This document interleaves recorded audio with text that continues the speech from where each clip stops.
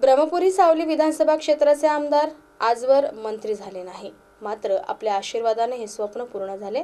या क्षेत्राचा सर्वांगीण विकास करण्यासाठी मी सदैव तयार आहे.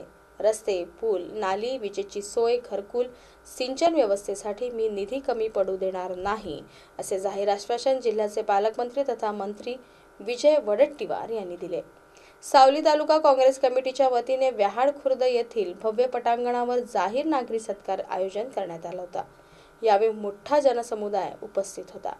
तब्बल दोन महिन्यानंतर वडेट्टीवार यांनी या क्षेत्रात पाऊल ठेवले. या स्वागताने मी भारावून गेलोय मात्र तुमच्या विकासाचे स्वप्न मी पूर्ण केल्याशिवाय राहणार नाही असेही वडेट्टीवार म्हणाले. यावेळी मंचावर काँग्रेसचे ज्येष्ठ नेते दिनेश चिटणूरवार ज्येष्ठ नेते ॲडव्होकेट राम मेश्राम पंचायत समिती सभापती विजय कोरेवार सावली नगराध्यक्ष विलास यासलवार युवा नेते राजेश कात्रटवार तालुका काँग्रेस अध्यक्ष बंडू बोरकुटे महिला अध्यक्ष भोयर युवा अध्यक्ष आशिष मनबत्तुलवार शहर अध्यक्ष नितीन दुव्वावार जिल्हा परिषद सदस्य वैशाली शेरकी सरपंच राजू सिद्धम सरपंच केशव भरडकर सरपंच मशाखेत्री उपनगराध्यक्ष भोगेश्वर मोहुर्ले आदी कार्यकर्ते उपस्थित होते. यावेळी आमचे प्रतिनिधी सूरज बोम्मावार यांनी विजय वडेट्टीवार यांच्याशी केलेली बातचीत बघूया.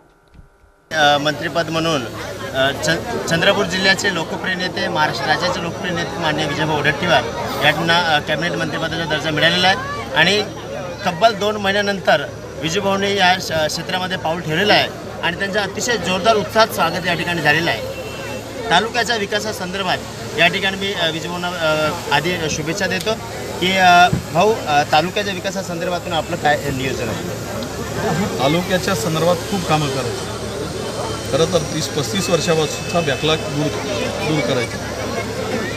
सर्वप्रथम शेतकऱ्यांना दिलासा देण्यासाठी पूर्वी हाच निर्णय मला घ्यायचा. पहिल्यांदा पूर्णतः तालुका सिंचन युक्त करायचा आहे. आणि जे असले नसले कामं पुढच्या दोन तीन वर्षामध्ये पूर्ण झाले पाहिजे. आणि या तालुक्यातील ऐंशी टक्के शेती ही पाण्याखाली आली पाहिजे हा पहिल्यांदा ध्येय आहे. आणि रस्त्यांची जाळं विणायचं आहे. त्यामुळे इथे उद्योग उभे करायचे आहे महिलांच्या हाताला काम द्यायचं आहे. पर्यटनाच्या दृष्टीनं काम करायचं आसोला मेंढ्याच्या पर्यटनाला पाच कोटी मिळाले. भविष्यात पुन्हा दहा कोटी रुपये पाहिजे तेही देणारं. तिथे एक सुंदर असं पर्यटन स्थळ बोटपासून तर सगळ्या अत्याधुनिक सुविधा असलेलं पर्यटन स्थळ. पर्यटकांना आकृष्ट करण्यासाठी त्या ठिकाणी करायचं आहे. आणि याबरोबर या भागामध्ये शेतीपूरक उद्योग उभे झाले पाहिजेत.